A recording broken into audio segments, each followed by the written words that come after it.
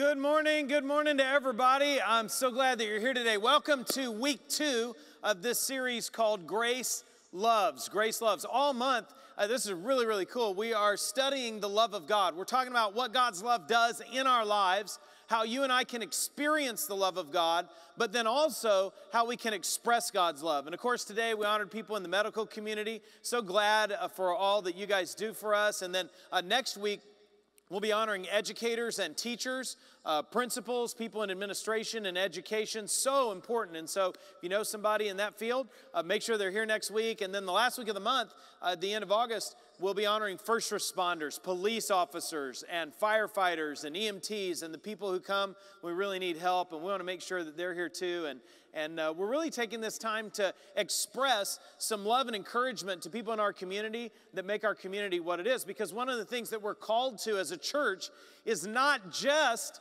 to uh, love each other and to be here in the church, but to be out in the community and to show that love to our community. And that's what we're about, and that's what we're doing. So we're talking about uh, Grace Loves. Last week, I did a message about the love of God because all of it centers there.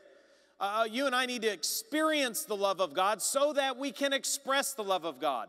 It's not just something that we know in our head, it's something we experience in our heart, and then something that works its way out of our life uh, as we're walking our life out. And so we talked about what God's love is really about and how it changes us. And uh, we're going to need to know that today because as we take a next step in understanding the way God's love challenges us to live, uh, we're going to need the power of that love working in us. And you'll see that uh, today. You're handed a set of notes on your way in, and the title this morning is Love That Forgives. Love That Forgives. And I just want to jump right into these notes. So uh, if you're taking notes, write this down. And if you're not taking notes, write this down.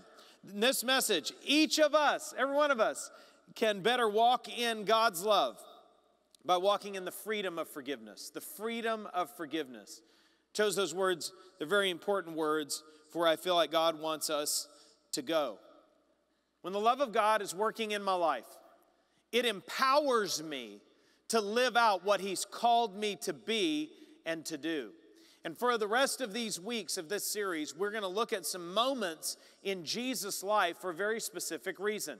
Now, I want you to track with me here, and let me just set this up for all of us. First, the Bible teaches us, it says, God is love. Now, I want you to turn to the person next to you and say, God is love. Do that right now. God is love.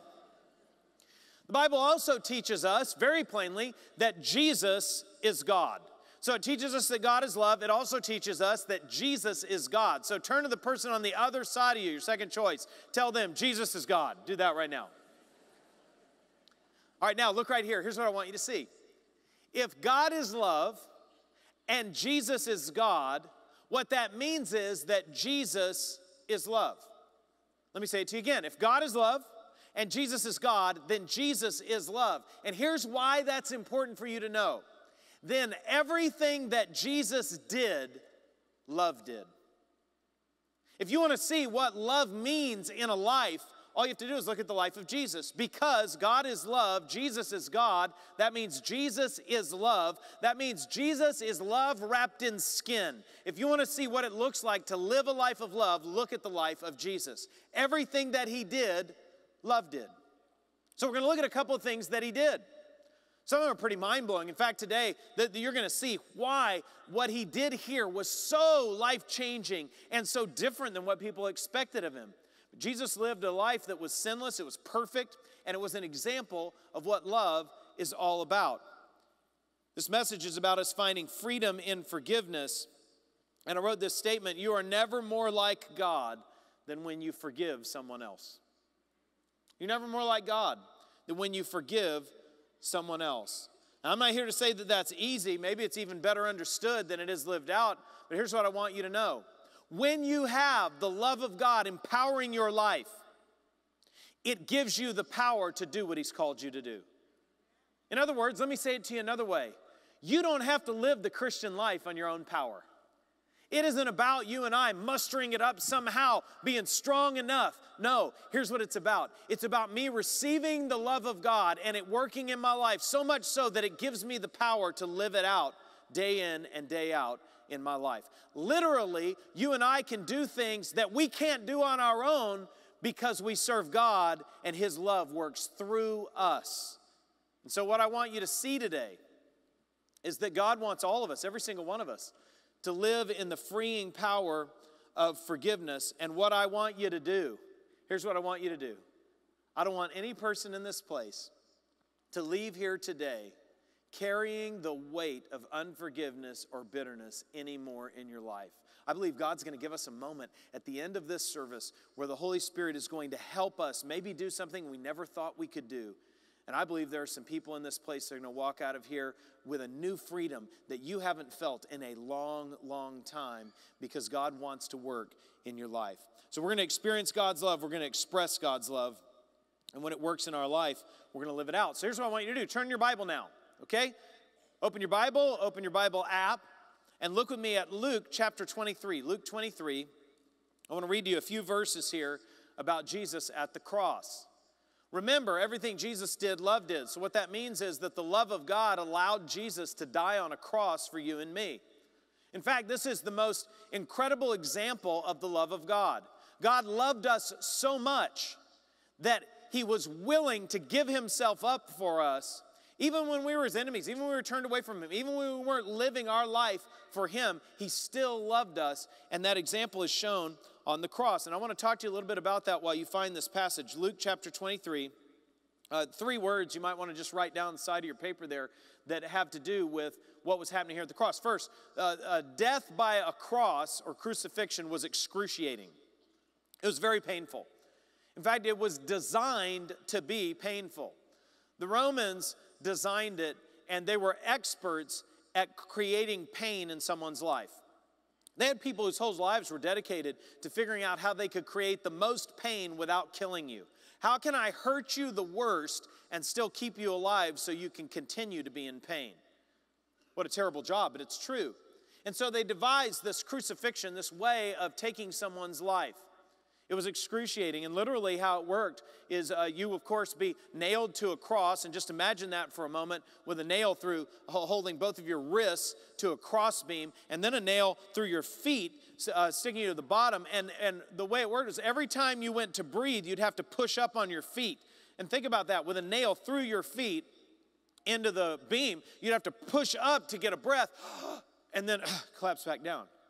Every single breath was as painful as possible. And what would happen is you would suffer that way until you literally ran out of energy and couldn't push up anymore, and then you would die of asphyxiation. You'd choke to death. It was a long process and it was painful. In fact, the word excruciating comes from the cross. Excruciating means from the cross. It, when we wanted to describe something that was incredibly painful, that you almost didn't have words to describe how much it hurt, we used the cross as that example. So it was excruciating. Second, it was expensive. This is a very expensive way to take care of somebody that was an enemy or somebody that was a problem. Why was it so expensive? It involves so much manpower and so much process to get somebody to the cross. It was not the cheap way to go. And so they spent a lot of money or manpower or energy on taking someone's life this way. And third, it was an example. The reason they crucified people and they crucified them publicly was to be an example to everybody else. They wanted you and me to say, I'm never doing what that guy did. I don't want to be naked on a crossbeam right outside of town, go through all of the pain and the agony and the beating and all of that and be crucified to a cross and die that way. So they used it as a deterrent, they used it as an example. Here's Jesus dying a horrible, undeserved death. The Bible tells us that he is literally between two thieves. On one side, a thief, on the other side, a thief. He's being mocked. They're calling him King of the Jews. They're saying, You save yourself if you're really God. When he came to save others, he's being spit on and insulted. He'd just been beaten, really to a pulp. And he didn't have to stay on the cross. Some people say, wow, man, you know, uh, we, we put him on the cross. Well, he went there for us, but uh, the reason Jesus stayed on the cross was not because of the nails. I mean, think about it logically. Three nails could not hold God down. So, why is it that he stayed on the cross? How did he endure that kind of pain? What caused him to stay? He didn't stay because three nails held him there. He stayed because he chose to stay for you and me. At any moment, he could have said, Stop, that's enough, and called a legion of angels down and cleared the place out. He was God. But he chose to stay on the cross for us. Pretty amazing, right? Yeah, it really is. What an incredible God. And so the Bible shows us the story. Luke 23, verse 32. Two other men, both criminals, were also led out with him to be executed. When they came to the place called the skull, they crucified him there, along with the criminals, one on his right, the other on his left. Jesus could have said all kinds of things. Jesus could have stopped it all. Jesus could have done anything he wanted to there, but instead, look at what he says in verse 34. This is the next verse. These are his words Father, forgive them, for they do not know what they're doing. Father, forgive them, for they do not know what they're doing. Father, forgive them, for they do not know what they're doing. Jesus forgives what seems to be unforgivable. He forgives sinners. He forgives thieves. He forgives. He's talking to these two guys. He's taught, but he's talking to more than that. But here's what he does. He forgives something that's unforgivable. And I want you to know that with God's help, if you feel like you're facing a situation where you've experienced something that's unforgivable, God can help you find freedom. I'm going to show you how in the rest of this message. Really, the question I want to answer in the rest of this message is this: How can you and I forgive like Jesus? Because if the love of God's going to work in our life, then Jesus is our example. And that means that you and I need to learn, we need to see what the Bible teaches us about how we can forgive like Jesus. There are four steps. I'm going to share them with you now. Let's jump in. Number one, identify your them. Identify your them. Look at the words that Jesus used Father, forgive them. And so here's very simply what I want to ask every person in this place who is your them? Who is it that's hurt you? Who is it that has done you wrong? I think to some degree or another, everybody here has experienced some kind of pain in life. Most of us have been wounded. Who is your them? Who is it that took advantage of you? Who is it that betrayed you? Who was a friend that didn't act like a friend? Who is it that gossiped about you? Who spread lies about you? Who said things that weren't true? Who is it that cheated you? Maybe a spouse betrayed you. Who hurt you? Maybe even abused you. What was that big one time offense and who did it? Or maybe it's been a series of small things that have just added up and added up and added up and added up and added up over time. But here's what I want you to see Who is your them? This is where it starts. You need to identify your them. Who is it? And for some of us, it's really easy. You know right now who them is. For others, maybe we're struggling a little bit to recall it all or to get it down or to, to let the clouds part so we can figure it out. But here's what I want you to see, and this is in your notes all unforgiveness has a name. All unforgiveness has a name. So, where there's bitterness in my life, hurt in my life that way, it always has a name. And let me just give you a couple questions to help.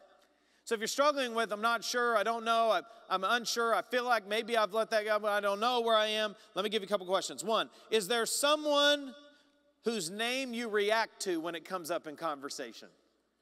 You know what I mean? That person's name comes up in conversation, and something inside you goes, woo! Whether you show it or not. Is there someone where uh, you find yourself happy when something goes wrong in their life? They have a problem, they stumble, they fall, something happens, some misfortune. You say to yourself, well, uh, you know, that's good stuff right there. Third question Is there someone that maybe you even wish bad things would happen to? Maybe even at that level. All unforgiveness has a name. Who is your them? Second thing I want you to see is that all unforgiveness has a root, has a root, R O O T, like a root, like a root of a plant or a root of a tree. It's something that goes down into your heart. It's a root in your heart.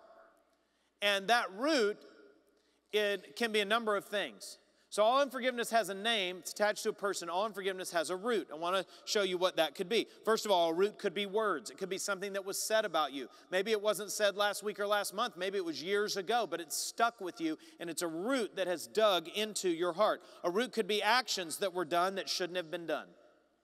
Maybe something happened to you, should have never happened to anybody. It happened to you, it was an action, it shouldn't have been done. That can cause a root in your life. A root could also be an action that should have been done but wasn't. In other words, it's not something that happened that shouldn't have happened, it's something that was supposed to happen, but it didn't. Something that should have happened, but didn't. It can be intentional. Sometimes, and I'm sorry to say, there are people in life that hurt us and they know they're hurting us when they do it. It can be intentional. But a root can also be unintentional. There are times where you can be hurt or you can even hurt someone else and you didn't mean to and didn't even know you did it. It can be unintentional.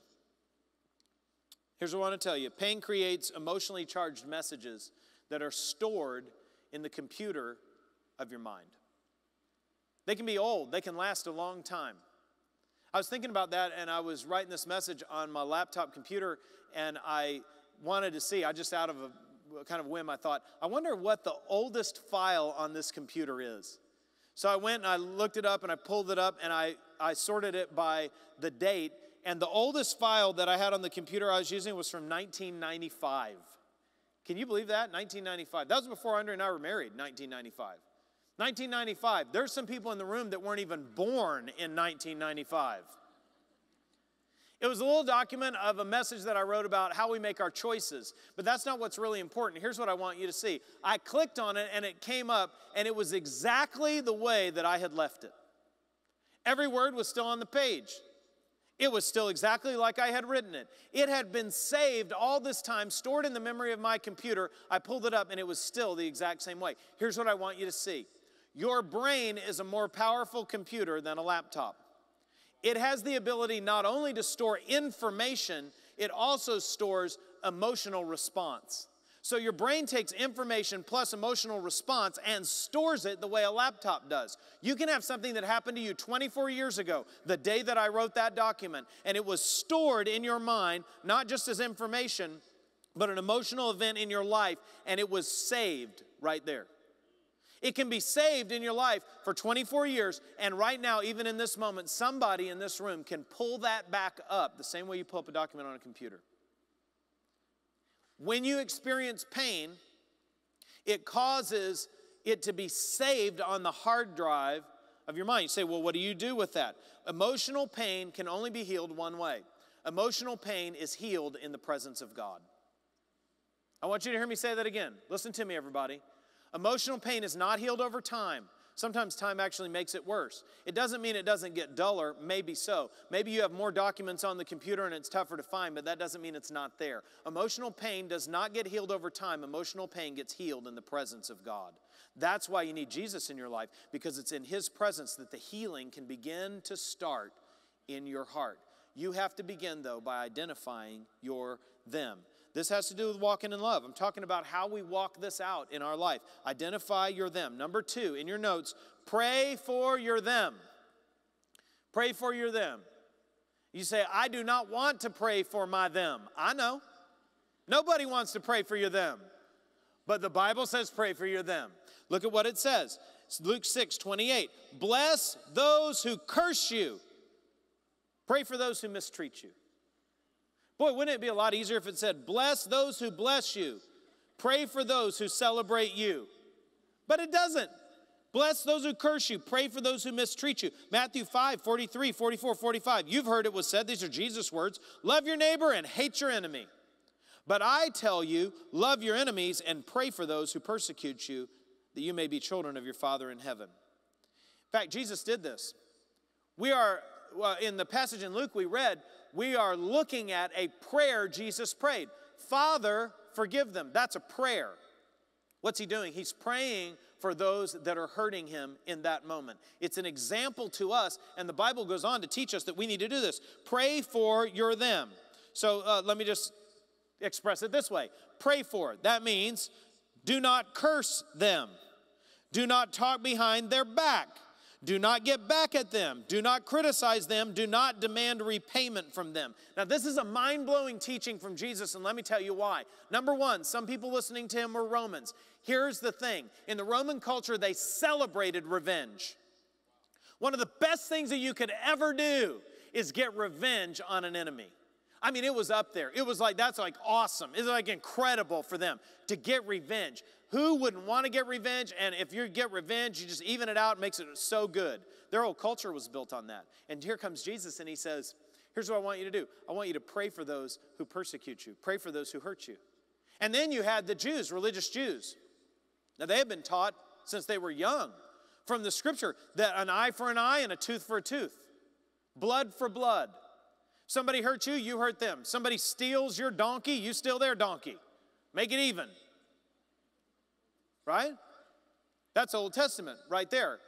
And here comes Jesus and he says, You have been taught an eye for an eye and a tooth for a tooth. And I'm sure that they were sitting on the edge of their seat going, Yeah, tell them, let's go get them. And Jesus said, But I tell you, pray for those who hurt you. Wow, it's mind blowing for them to understand that Jesus is saying you're actually supposed to pray for people who hurt you. I'm not saying this is easy. I'm going to tell you my own life. I have observed that this is a uh, it's a process. It really is. When I first gave my life to Christ and I was a teenager, I had actually accumulated a, a, a big box of hurt a lot of uh, painful things had happened in my life, and there were a number of people that I had to walk through the process of forgiving with. And when I was first taught that the Bible says this about our life, that you and I are supposed to pray for those who hurt us, I, I mean, that was really uncomfortable for me. In fact, I just tried to do it. I didn't feel like doing it, but I just tried to do it because it was what the Bible said to do. And so I just started out with, you know, it says to bless them, so it's bless them, God. Bless them with incurable hemorrhoids now. What can I say? I have a gift of creativity. What do you want from me? Here's my point. As I continue, and that was it. As I continued to pray, that turned into, and bless them. As I continued to pray, my heart softened. That turned into, Lord, I, I really, this is strange. I, Bless their life. Touch them, change them. If they don't know you, send somebody in their path to show them who you are. To the place where I could genuinely pray for people who hurt me. God, if you could save them, if you could work in their life, do it, I pray, in the name of Jesus. Now, it was a process for me. It wasn't great at the beginning. You noticed that, didn't you? But here's the thing our God is okay with imperfect progress. Wasn't perfect from the start, but I just hung in there and kept obeying what he said. And here's what I found out, and this is in your notes that my prayers for others may or may not change them. My prayers for others may or may not change them, but they will always change me. They'll always change me. This is why the Bible teaches you and me that we pray for those who hurt us. And that's the second step. It's what Jesus did. He prayed for them. And that's what you and I need to do. So identify your them, pray for your them. This is about walking in love. Number three, number three, forgive your them. Thanks a lot, Garrett. Praying for them is hard enough. Now you want me to forgive them. Yes, that is what the Bible says. In fact, don't believe me? Look at this scripture, Colossians 3:13. Bear with each other and forgive one another if any of you has a grievance against someone. And then look at what it says Forgive as the Lord forgave you. Forgive as the Lord forgave you. Now, here's what I want to see today. All across this room, I just want to do a show of hands. How many people in this room you have experienced Jesus forgiving you for something Raise your hand if that's you. Raise your hand, raise your hand, raise your hand. If God's forgiven you, raise your hand. Look around this room, there's a lot of hands up. So have I. How many of you have experienced God forgiving you for more than one thing? Raise two hands. All right, raise two hands, raise two hands. Yeah, some people you have your foot up too. I see that, yeah. It's good. Now, here's what I want you to consider How did He forgive you? Like, what was that like? Did you have to beg and grovel for God to forgive you? Did you have to deserve it for God to forgive you? Did you have to earn it for God to forgive you? Well, no. You didn't have to beg and grovel. All you did was come to Him. Did you have to deserve it? No, because you didn't deserve it. Did you have to earn it? There's nothing you could do to earn it. But Jesus, because He is so gracious, because he is such an amazing Savior, because his love for us is so great, because we belong to Him. Even if we mess up a hundred times, if we'll come to Him with a genuine heart, He forgives us. And the Bible says this You and I are taught to forgive as the Lord has forgiven us. It goes a little deeper. Matthew chapter 6, verse 14 and 15. For if you forgive other people when they sin against you, your heavenly Father will also forgive you. But if you do not forgive others their sins, your Father will not forgive your sins. Very simply, what Jesus is saying here is this is very serious. This is very important. This really matters. This is something you need to pay attention to. This isn't something you just slough off or leave for later or just say, one day I'll get to that. This needs to be something that you understand. And here's what Jesus knows and what he's trying to tell you and me that if you're going to live in the freedom I have for you, you cannot afford to take grudges with you. Because grudges are radioactive. Remember this symbol? I don't know if anybody remembers this. I'd be interested to know in this service if anybody remembers this. When I was a kid, I remember us doing nuclear fallout drills in school. Did anybody else remember that? Raise your hand. Okay, these are all the old people. That's awesome. And I'm with you. I'm with you. We would be sitting in school and a siren would go off, and literally you would get, I mean, some people are like, this is crazy, you can't believe it. But yeah, you would get under your desk, crouch down under your desk, and you take a book and put it over your head. Because if a nuclear bomb went off, that would help. Strong. It's a strong plan, I know. Well, what they're worried about is this radioactivity. Radioactivity um, can kill you if you're exposed to it enough. And so I just did a little bit of research, I'll just share it with you. Uh, radioactive substances, the closer you are to them, the more damage they do. And the problem with them is this that they damage your body by destroying your internal cells. They literally kill you from the inside out. Radioactivity affects you on the inside and it kills you from the inside out. So much so that it'll attack and destroy your blood cells so there are no nutrients going to the rest of your cells, and that exterminates your life. So when I say to you that grudges are radioactive, this is exactly what I mean. Because the closer you are, the more damage they do to you. Because the, they hurt you from the inside out. It's one thing to have a scar on the outside of your body, but many people in this room, you don't have a scar on the outside, but you have deep scars on the inside. Why? Because that grudge has been working on you and working on you and working on you and working on you. You are in a radioactive environment and you don't even know it.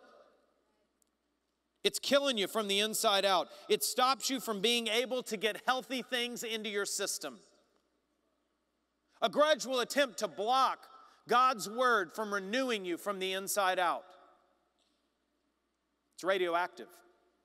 So you and I have to move beyond that and understand the power of forgiveness because, and here's what I know, and I put this in your notes forgiveness is a choice, not a feeling. Forgiveness is a choice, not a feeling. Many people say, well, you know, I'll deal with that. I'm going to forgive them when I feel like it. I just don't feel like it. When I feel like it, I'll do it. I got news for you. You're never going to feel like it. Hi, I'm Garrett. I'm here to help you right now. You're not going to feel like it. And by the way, you're in pretty good company because look at Jesus on the cross. When he prays this prayer and says, Father, forgive them for they know not what they do, let's t- stop for a minute and let's just plug into this question. What was he feeling at that moment? Did he feel like it? Here's what the Bible tells us. If you just back up a couple pages, you know that in the Garden of Gethsemane, the stress and agony was so great that the capillaries in the skin of his forehead burst and he was bleeding. It was like he was sweating blood. Does that sound like he was feeling gushy, everybody? Then the Romans take him and beat him to a pulp, almost to death. Then they take him and parade him out in front of everyone, naked, hang him on a cross. He's hanging there on a cross. Do you think that he was feeling warm and fuzzy? No. He was feeling agony, and not just the agony of the physical pain he was under, because you see, he was about to be separated from his father for the first time. He was going to be all alone. Also, the Bible says that he was carrying the weight, all the accumulated weight of the sin of the world on his shoulders. Do you think he was feeling warm and fuzzy? No way. I'm really glad, and you should be too, that Jesus did not make his decision based on a feeling in that moment. He made it based on a commitment to his Father. And that's why you and I are here, forgiven by God, able to be free, because he didn't listen to his feelings. Now, I'm not here to tell you you don't have them. You have feelings, they're legitimate. I'm just saying forgiveness is a choice, not a feeling. And if you're waiting for a feeling, you'll never forgive. And if you never forgive, you'll never be free. And if you're never free, you'll never walk in what God has for you. And it will be because you held on to a radioactive grudge in your life. Forgiveness is a choice, not a feeling. So we're going to identify your them, pray for your them, forgive your them. And then number four, last one, leave it with God. Leave it with God. Literally, Jesus did these steps on the cross. He identified them, he prayed for them, he forgave them. Father, forgive them, for they know not what they do. A few verses later, he makes this statement Father, into your hands I commit my spirit. What's he saying in that moment? Here's what he's saying God, I leave it all with you. I leave it all with you. I leave it all with you. I completely surrender everything I am to you. Leave it with God. This is the fourth step. Jesus did it, and with his help, you can too. You can leave it all with God. You can completely put the Father in control of the results, the steps, the consequences. You can leave it with God. And here's what I know about forgiveness, and this is in your notes that forgiveness is a one time choice. It really is. And if you've never forgiven uh, something today, now's the time for a one time choice. You need to make that decision. But it is also a daily choice. Sometimes you got to get up in the morning and walk in that forgiveness again today. It is a one time choice, it's a daily choice. Forgiveness is a decision, but it's also a pattern of life. It's something that we put on today, and tomorrow we put it on for tomorrow, and the next day we put it on for that day. That's what it means to leave it with God. I talked to you about um, having a big box of hurt in my life when I first became a Christian. And so I just thought about that, and I thought about talking about that with you this way. And when it comes to the idea of leaving it with God, this is what I think about. I mean, if you could take the hurts in your life and put them in a box, you could do that. And you could have them, and maybe this box would have words in it, and it would have, this would have files in it. Maybe it would have uh, actions that were taken against you. Maybe there were things that should have been done that weren't done. If you piled up all your hurt, put in a box, and you labeled it like I did this, this is my hurts. And we know that the Bible teaches us we're supposed to bring that to the cross, we're supposed to leave that with God. And so I'm coming, to, I'm coming to you, Lord, and, and I'm, bringing, I'm, I'm bringing my box. I've got my box here. It's all, it's all here. I'm used to carrying this around. I've been carrying it for a while. I'm to I'm to put this down. I'm going to leave this with you. Here it is, right here. Here's the box. There it is. See that? I'm going to leave that with you. God, hold on just a minute. Um, I want to ask you a question. Do you see my box? I know I set it down 31 seconds ago, but I noticed you haven't done anything yet. Do you need some suggestions? Because I've got some suggestions about what to do with this box. Leave it with you. Okay. Got it. I'm leaving it with you.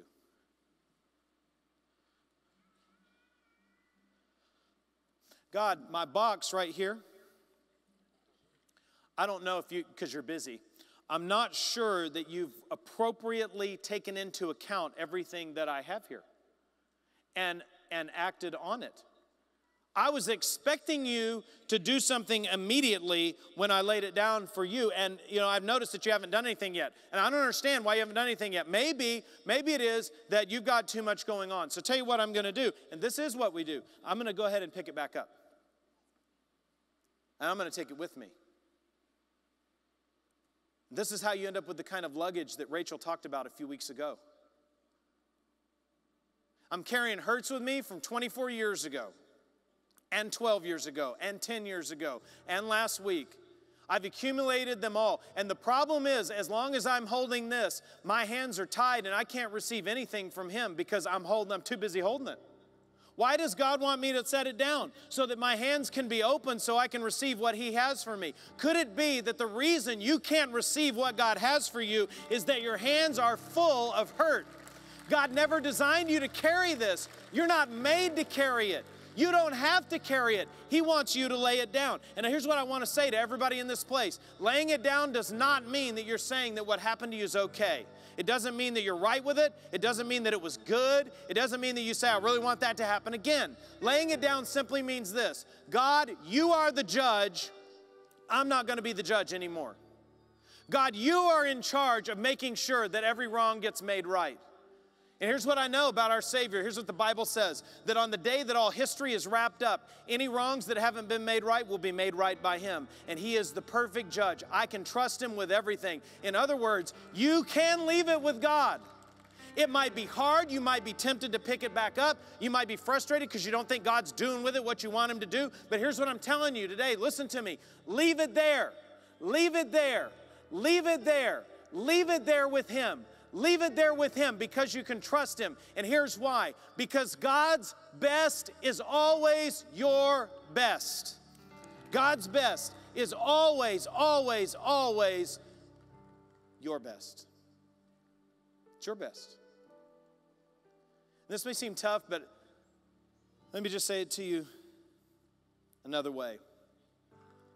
When it comes to forgiving and letting go and leaving it with God, here's what I've learned. And maybe this is a word for someone here. Because there's somebody here, you've been real frustrated. You've been upset with God because you don't like how He has handled or not handled whatever it is that you have in the box right there. And here's what I want to say to you that God does not owe you an explanation or a status report for what He does with something you've surrendered to Him. When I give it up, and when I let it go, it's in His hands.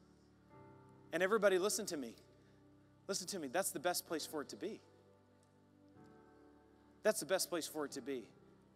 Because now my hands are free to receive what He has for me. And here's what I know He doesn't have a box of hurt to give me, He's got a blessing to give me.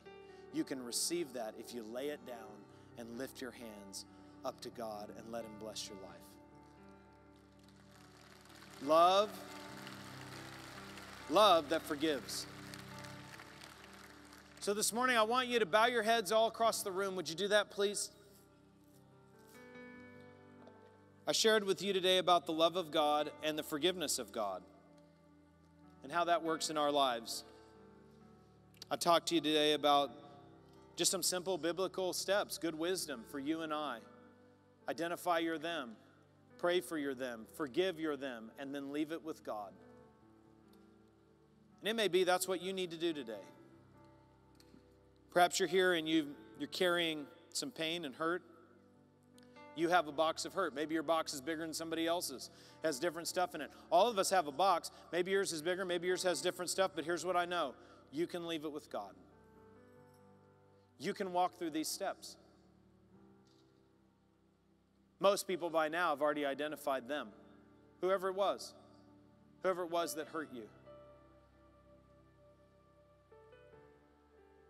In just a little bit, I want to pray with people who need to open their heart to the love of God for the first time. But before I do that, before we have that moment, I want us to respond to what we've just been taught about God's forgiveness and about it working in and through us. If you're here today and there's someone you need to forgive, again, I didn't say that you're admitting that what they did was right. I'm just saying you don't want it to control you. You realize today that you have something in your life that's radioactive. It's been hurting you. It's time for you to be free. I want to pray for you. That's where you are today. I'm going to ask you to respond. I'm not going to ask you to stand. I'm not going to ask you to walk forward, but I am going to ask you to lift your hand in just a moment, and I'm going to pray for you. I'd like everybody's heads bowed, please. You'd say, Pastor, pray for me. You need God's help. You want to look to God for help to forgive. I'm going to pray for you that way. If you want that today, all I want you to do is, in a moment, slip your hand up and then you can slip it back down. You don't have to hold it up, but you can slip, put it all the way up, take it back down. If you want to be on that prayer, go ahead and do that right now. Just having, just this is response time. Go ahead and lift your hand, put it back down. Many people across the room, you still need to do that. Go ahead and respond. Lift your hand, put it back down.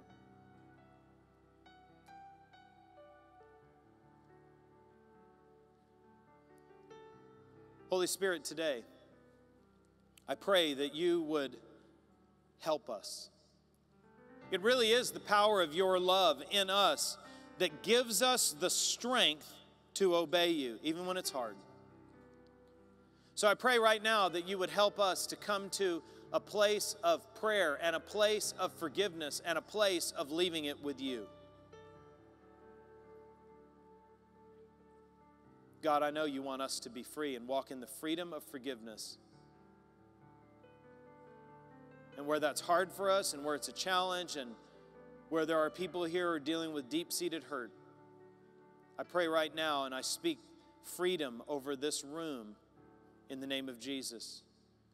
That bitterness and offense and grudges will not hold us back from being the men and women you've called us to be. We're going to be people who walk in love, who experience the love of God and express it in our lives, in our community, in our city. Clean out hearts in this place, God.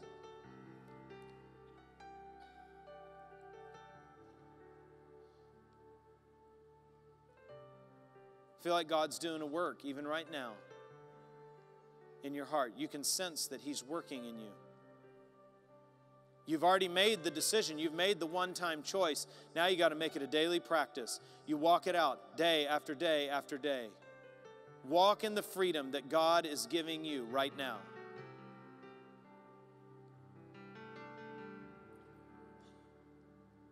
And this morning, before we sing a chorus, if you're here today and you need to open your heart to the love of God,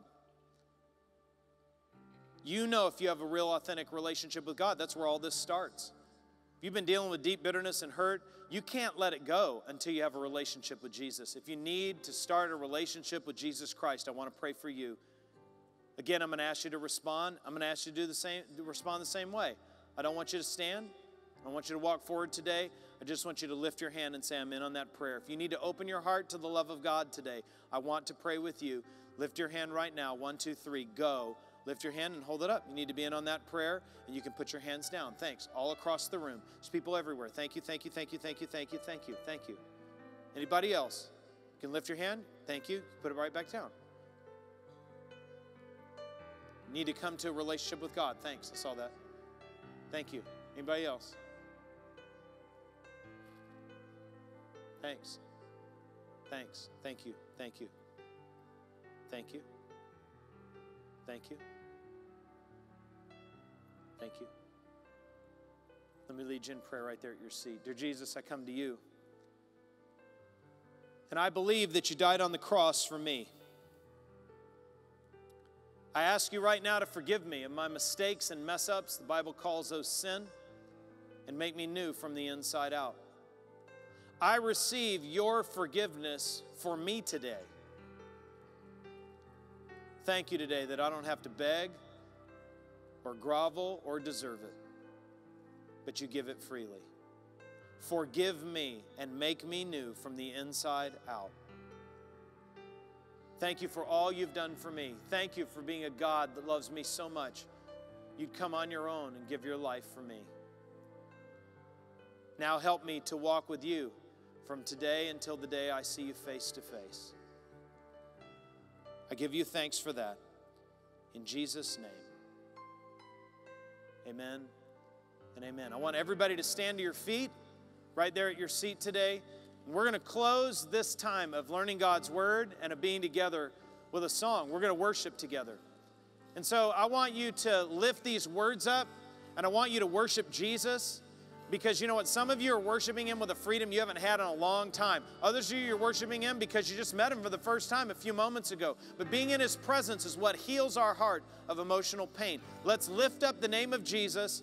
And then when we're done singing and worshiping God, you'll get some instructions about next steps for all of us. And then we'll go about our day. But let's take this time, let's take this moment to sing with the team and to worship Him. Would you just lift your hands? Lord, we come before you now in your presence. We worship and honor your name. We lift our hearts to you. Change us now from the inside out. In Jesus' name.